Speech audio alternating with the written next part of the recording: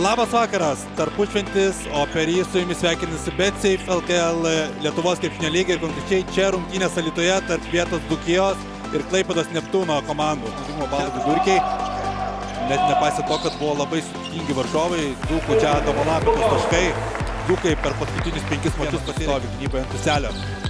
Gailius ir dar du gailiaus taškai. Greitą ataką pasirinktinėse pavyks jam demonstruoti saldesnį žaidimą. Žaidimą čia Bontonas kaip perėma kamuolį ir matas jo gėlą. Krauna kamuolį iš viršaus ir viskas būtent prasideda nuo gynybos.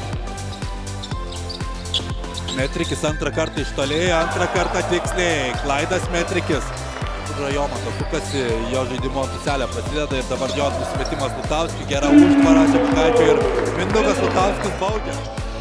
Ir Bonsonas pats imsis iniciatyvos, paskutinis jo metimas, 3 taškai!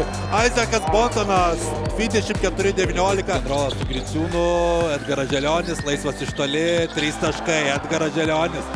Užsivedęs, tempais artėja ir prie šio sezono ir karjeros savo geriausio pasiekimo. Tačiau mėgstantis gintis Mindugas Mažika kliūna už užtvaros. Tris taškai. Mindugas Lukauskis ir gali greitai. Niukirkas iš toli, 3 taškai, 35-42. Po užtvaros Jucikas Gailius, Gailius lendama per apačią ir Furmanavičius yra nubaudžiamas. Negali lysti prieš Davidą Gailių per apačią. Frajumis dar viena užtvara, Frajus neprišoka prie jo, Želionis ir toli Frajus, antrasis dar leidžia greitą ataką. Tačiau klysto, matas Jogėlą, mato Jogėlas oro linijos. Antrasis Jogėlas dėjimas sėkmingų išpolių ir apsiginti. Čia Jomantas klysta. Ieškojo pražangos, čia Gailiaus perdamas Mažeikai ir Mažeika 2 taškai, plus 18, dar viena minutės per trukėlę Lietuvoje. Bontonas dar kartą kviečiasi Griciūną, koks Bontono perdavimas ir čia Griciūnas. O čia įvykė Lietuvoje. Mažeika iš nenuotolio 76-56. Uniklub kazino.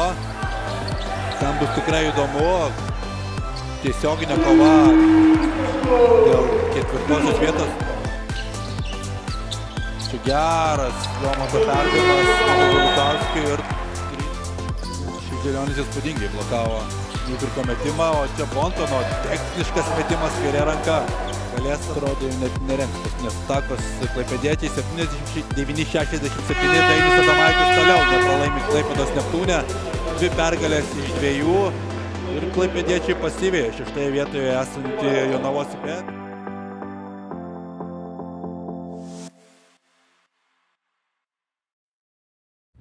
Oh!